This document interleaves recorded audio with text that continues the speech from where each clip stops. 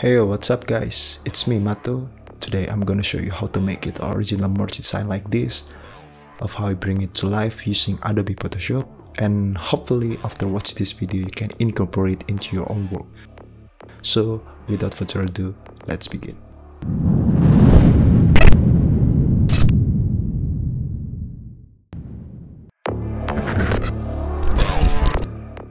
I start with create new workspace with 2400 by 3500 pixels with resolution 300 and I name it t-shirt design. I've come with this man image by Sergey Vinogradov. Thanks for sharing this beautiful image bro. I found him on unsplash.com. He's very amazing. He has a lot of great photos and he's very talented by the way. I put this link in the description so you can visit him and download the same picture as me.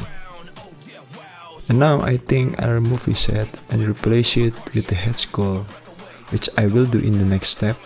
As usual, I played around using a pen tool to get it exactly the way I want. Some people use different technique for cropping an image, but for me, Cropping an image using the pen tool give me more control over an execution and the precision of doing this it's so amazing. But this is very tedious, so much effort and spend a lot of time. But if you are used to it, you get very very amazing result for doing this. So let's speed it up.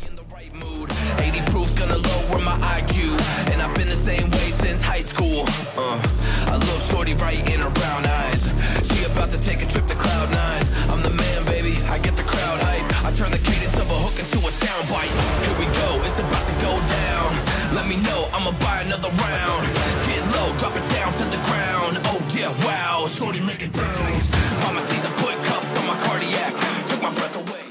Now I add the skull head, obviously. I took the skull head and placed it on the back of the first image.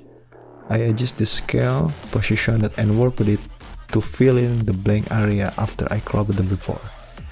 And I made some adjustment to the colors so they look pop and blend together.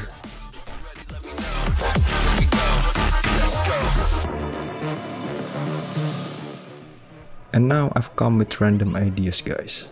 I don't know, it's screwed up. I'll try to add a gun this time. Bloody guns I think. I don't know why this idea come up, and whether it's possible that this idea can be related to each other.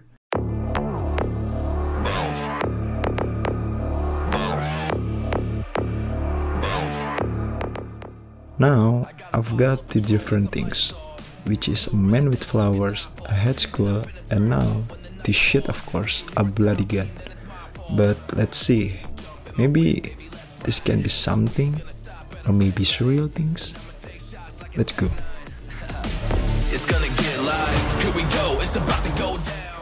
I also adjust the scale, position it and warp it to make the match. And I made some adjustment to the colors so they look pop and blend together.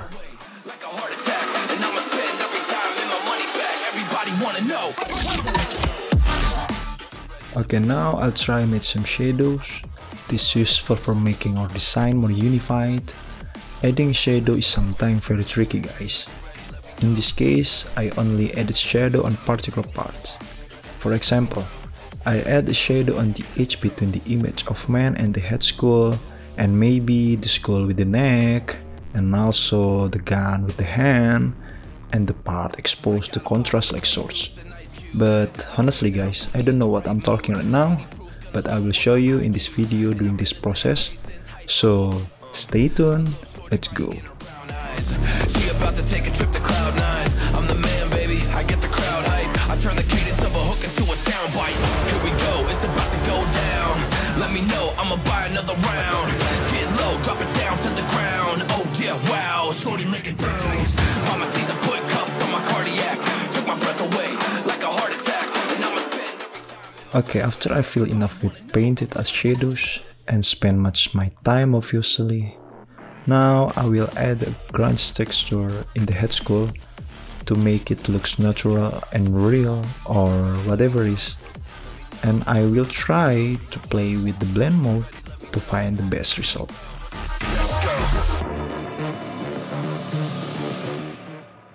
Okay, after I think it's enough to play with, now I want to add color with halftone style using the gradient map technique. I often use this technique in some of my designs.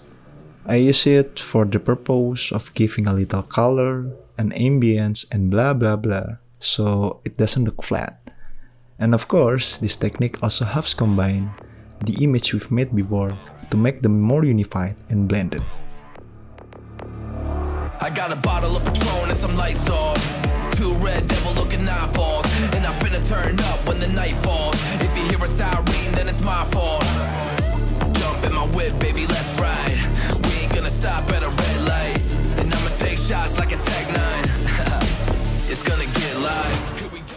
I try to make rough strokes using a chalk brush and I play around with the blend mode again so I've got the effect of scratch on the skull head. To be honest guys, I'll doing this randomly, just want to play with it, so have fun.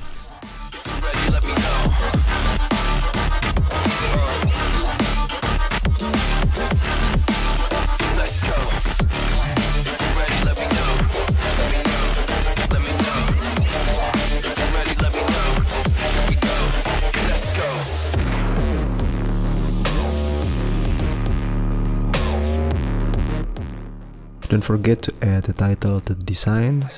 For the design, the title is Epic Pathetic.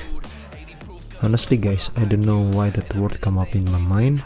I just doing that randomly and I thought it will be cool if I bring the title for the design. And the font that I use is called Arcadia. This is one of my favorites. It's very thick and solid and very versatile for any purpose. I put the download link in the description so you can download same font as mine. Let's dive in.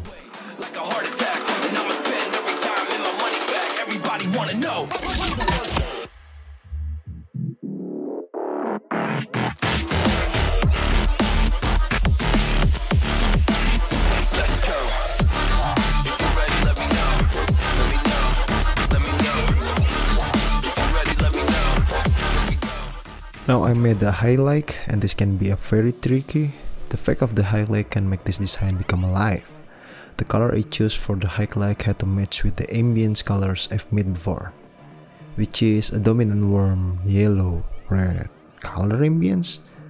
And I painted it all over the part that was exposed to the light source. And I painted it just using a regular soft brush and then sing using my standard mouse, not using a pen tablet guys as it gets you to see the result guys, it would be epic.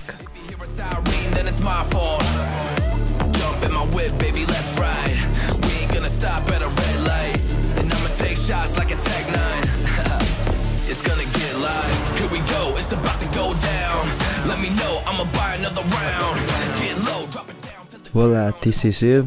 Final result of epic pathetic merch design using Adobe Photoshop and I'm so happy with it. I hope you enjoy this video and can learn something new or maybe trigger your imagination to create something or anything. Thank you for joining me. If you liked this channel, don't forget to subscribe, like or comment below because with that give me more energy to create and share more videos for you guys. See you in the next videos.